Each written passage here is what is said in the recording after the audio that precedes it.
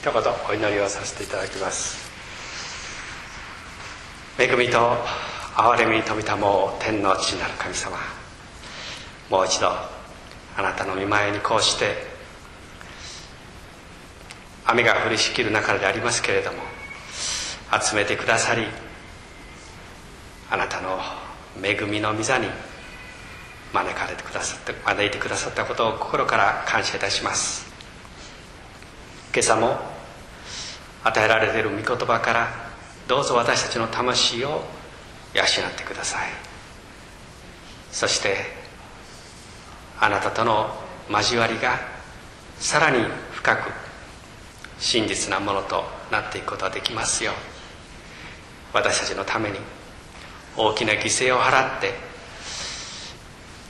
罪の贖いを成し遂げ救いを完成してくださったこと。私たちをあなたとの交わりの中にあなたの栄光に預かるものと作り変えてくださったことの上に心から感謝いたします。救いの道を切り開いてくださった主イエス・キリストが今も全世界にあってあなたの名によって集まる全ての人々のところに精霊にあって臨在していてくださることのゆえに心から感謝いたします。どうか御言葉を祝福し私たちの今日の糧としてください。主イエス・キリストのお名前によってお祈りいたします。アーメン。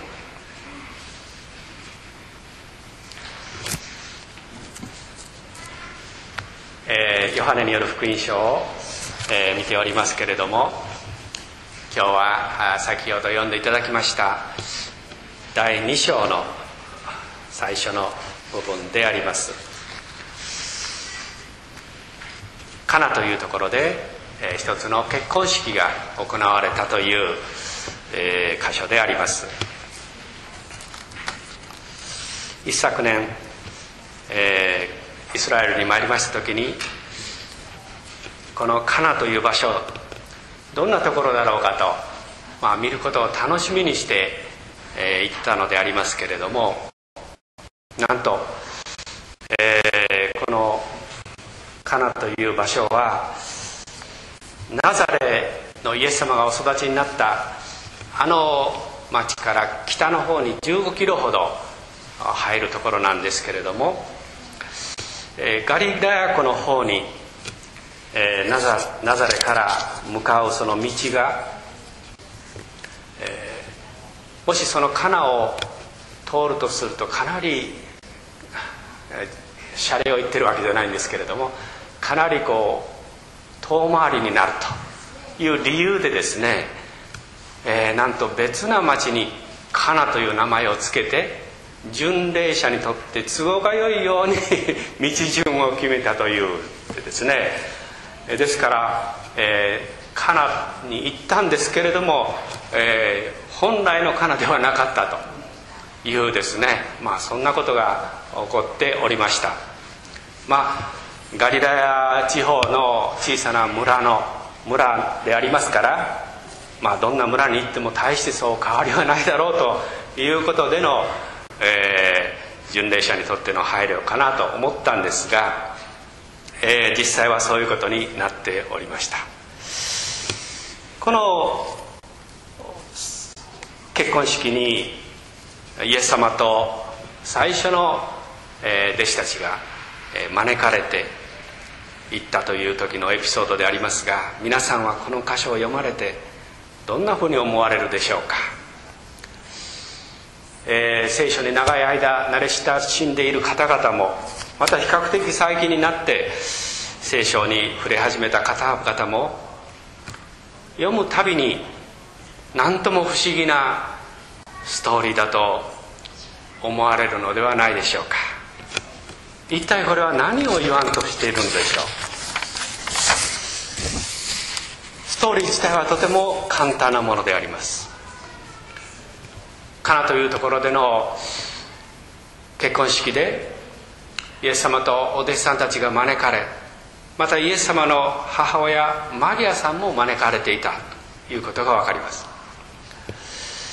マリアさんはその結婚式の何か重要なお手伝いをしていたようにも見受けられます。そのお祝いの最中にみんなの飲むブドウ酒が足りなくなってしまった。マリアさんがそのことをイエス様に伝えました。イエス様はその場所にあった水がめに水をいっぱい満たしなさいと手伝いをしている人たちに告げられた。そしてその水を汲んで人々に持っていくとなんとその水がブドウ酒に変わっていた。その事情を知らない人たちは、まあ、喜んでそのブドウ酒を飲んだという話であります。まあこれだけを聞いたら全くキリスト教というものを知らない人だとイエス・キリストはマジシャンかと思われるかもしれません。人々がわからない時に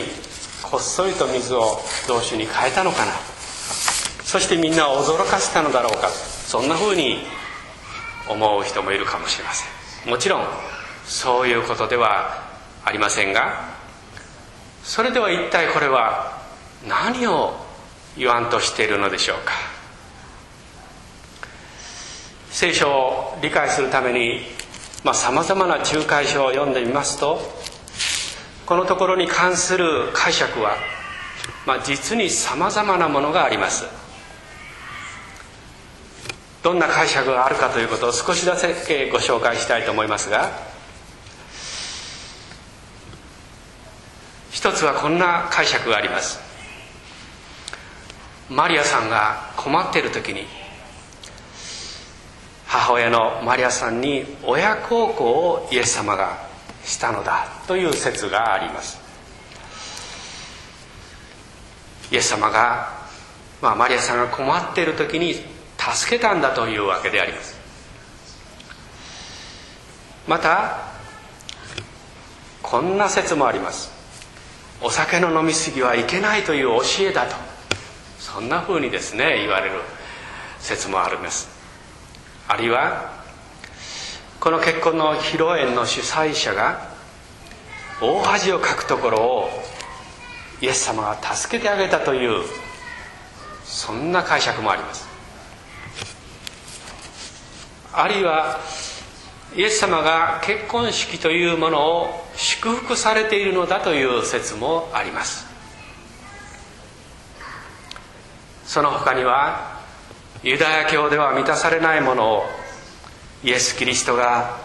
満たしてくださったという説もあります。この他にもたくさんの解釈があるわけですけれども一体これをどう理解したらいいのでしょうか。まずこの箇所の特徴を見ていきたいと思います。ガリラヤのカナという村で結婚式がありそこにイエス様の母がいた。どうしてマリアさんがそこにいたのか書いていません。誰の結婚式であったのかも記されていません。どうしてイエス様と弟子たちが招かれたのかも記されていません。水がブドウ酒に変わったとありますがそれがどのように変わったのか一体何が起きたのか全く説明がありません。水をしもべたちが汲む時にこの水がブドウ酒に変わっていたということを発見してこのしもべたちはどう思ったのかそのことにも触れられていません。そしてなぜマリアさんがイエス様に「ブドウ酒がなくなりました」と言ったのかその理由も記されていません。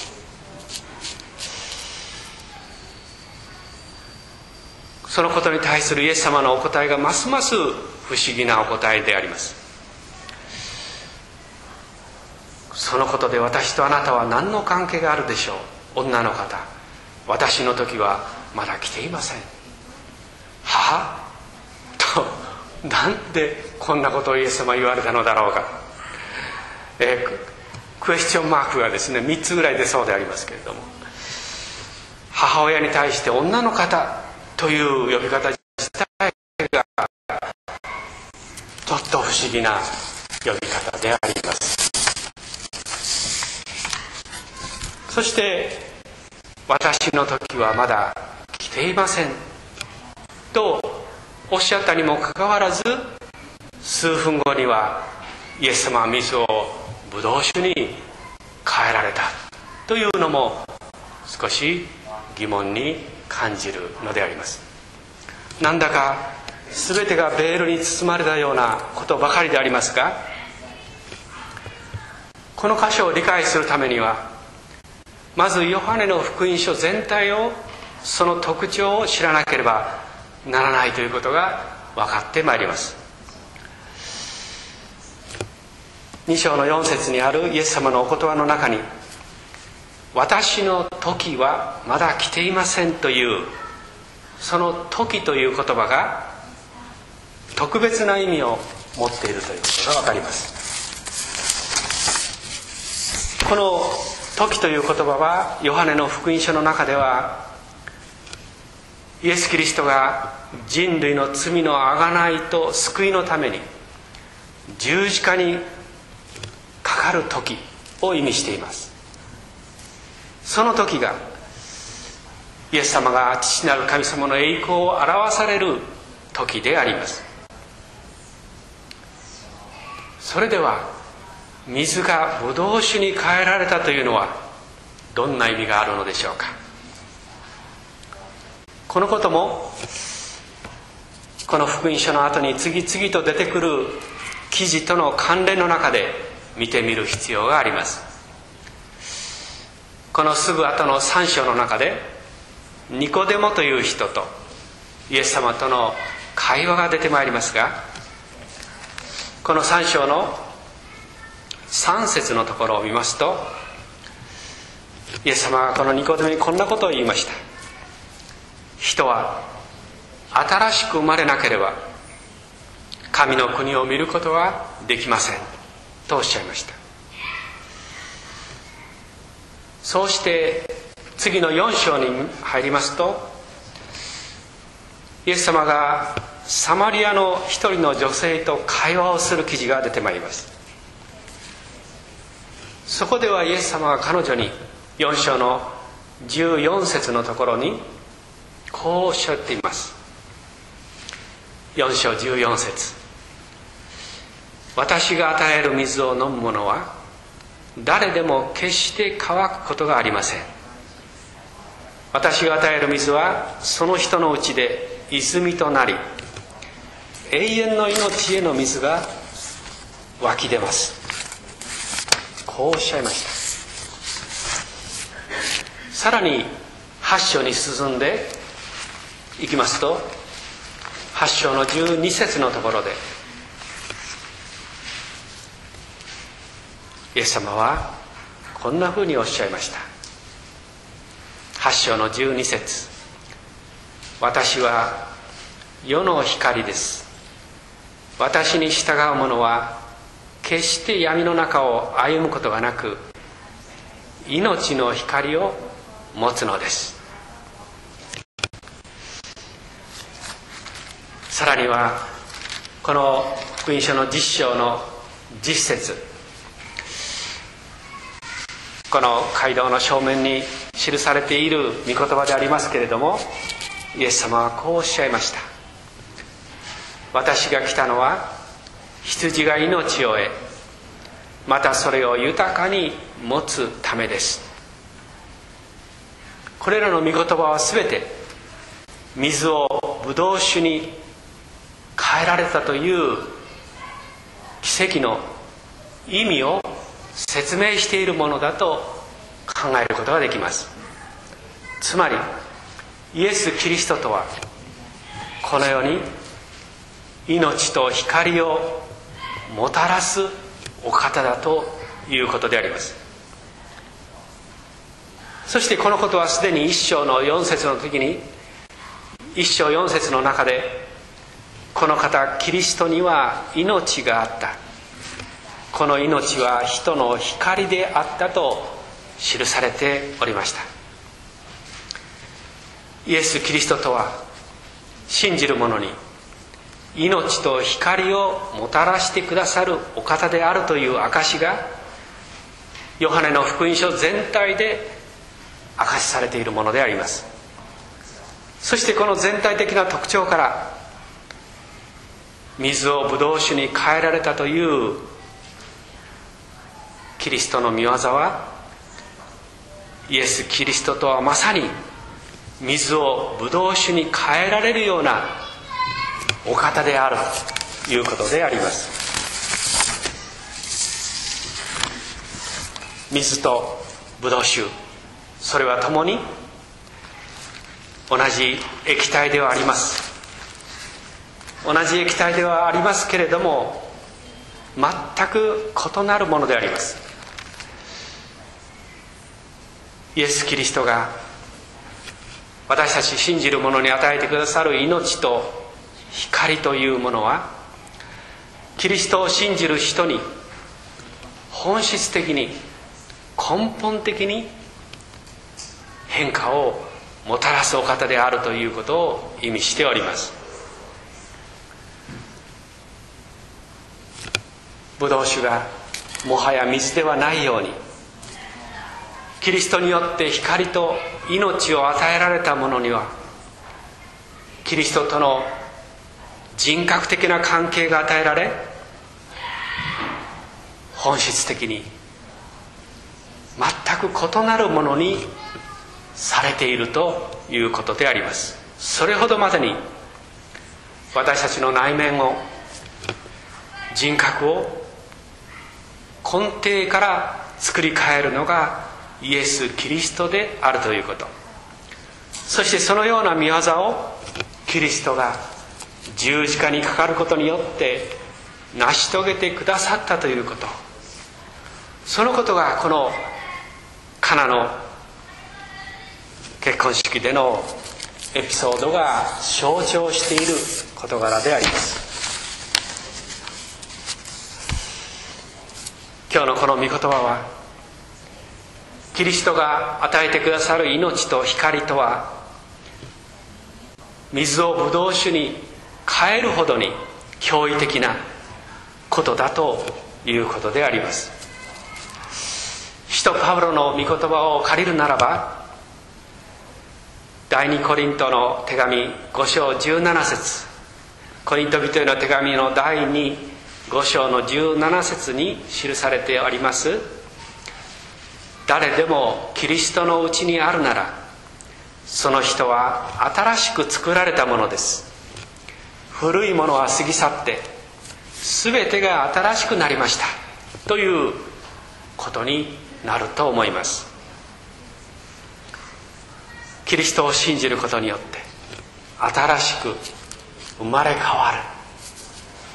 そのことを象徴している出来事であります。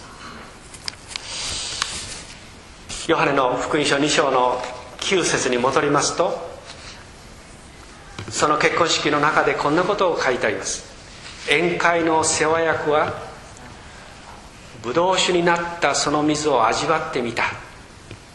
それがどこから来たのか知らなかったのでと記されています。こんな素晴らしいブドウ酒が一体どこから来たのか彼は知らなかったというのです。イエス・キリストとの人格的な関係が結ばれて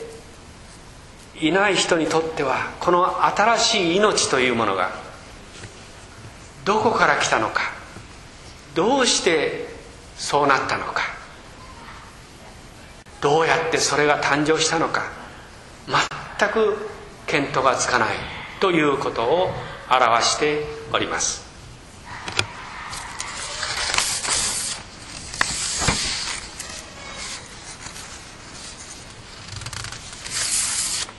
以前ずっと以前のことでありますけれどもこの私どもの教会に一人の青年が来ておられました。大変優秀な青年で学校の成績もよくそして勉強だけでなくクラブ活動も励み空手などをして体を鍛えておりました。学校の先生たちも将来を有望視しておりました。この青年が教会に来て聖書の話を聞くようになってまいりました。しばらく来た時にその青年と、まあ、個人的にいろいろ話をすることになりました。彼は一つのことで悩んでいました。それは彼の両親の不和ということでした。彼は父親ともまた母親とも気持ちが通じなかったようであります。それが原因であったのかもしれませんが学校の成績が抜群に良かったにもかかわらず彼には生きる希望が見いだせなかったのであります。勉強もスポーツもよくできる優秀な学生であった彼が生きる希望を見いだせず時には死にたいとさえ思っていたというのであります。そんな中で教会に来て聖書の話を聞いておられました。しばらく経った時に彼から個人的に話をしたいと申し出がありました。その相談というのはもう教会に来ることをやめようかと思っているという相談でありました。どうしてですかと聞くと彼の父親が強く反対しているというのであります。どうして反対しているんですかと聞くと父親が信仰は弱い者がするものだ。宗教に頼るような人間になってはいけない。強い人間になれ。空手をもっと一生懸命やって精神を鍛えろというのだそうです。そしてその青年もそうかなと思い始めてもう教会に来ることをやめようと思っているというのであります、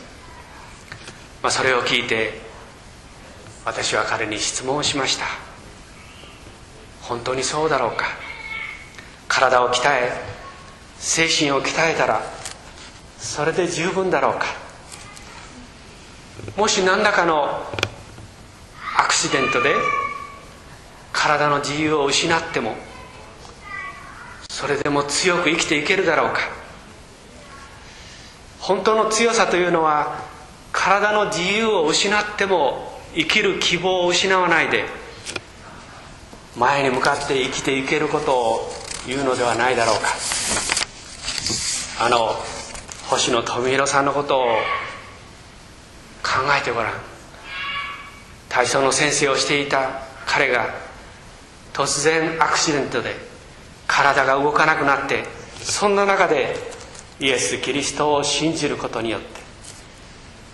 体が自由に動かせる人以上の働きをしているああいう人を本当に強いというのではないだろうか。私たちの体力も精神力ももちろん大事だし鍛えることも大事だけれどもそれ以上に心が大事ではないだろうか。そういう話を彼といたしました。その青年はじっと聞いていて考えてみます。と言って帰っていきました。それからであります。彼が熱心に弓道生活をし始めました。そしてイエス・キリストを求めついに洗礼を受けキリストを信じるものとなりました。後に牧師となる決心をして現在埼玉県の方で牧会をされていますけれども生きる希望を見いだせず死ぬことさえ考えていた青年がイエス・キリストの救いを今は述べ伝えているということを思う時にイエス様が水をブドウ酒に変えられるお方だということを私たちも分かるではありませんか。命と光がどこから来るのか。神の御子イエス・キリスト。私たちのためにご自分の命を投げ出して罪をあがない救い出してくださったキリストからこの命が来ます。ちょうど今朝の高知新聞の一面にあります「小社会」というコラムの中でこの星野富弘さんのことが大きく取り上げられていました。すでにご覧になった方も多いと思いますが。あまりにも素晴らしい文章だったので切り取ってまいりました。ちょっと読んでみたいと思います。初夏を迎えると星野富弘さんの花勝負の水彩画と添えられた詩を思い出す。黒い土に根を張り泥水を吸ってなぜきれいに咲けるのだろう？私は大勢の人の愛の中にいてなぜ醜いことばかり考えるのだろう？若い頃不慮の事故で手足の自由を失った。病床で母親に食事をさせてもらっている時汁が顔にかかった。母の顔にご飯を吐き出し「畜生もう食わねえ。クソババご飯粒を拾いながら母は泣いていた。健康な他人の幸せが苦々しい。どうしようもなく膨れ上がってくる苛立ちをぶつける相手は母親しかいなかったのだろう。やがてシーガに楽しみを見いだし筆を口にくわえて書くようになる。寝たきりのとこから社会へ。這い上がるのを支えたのも母の力だった。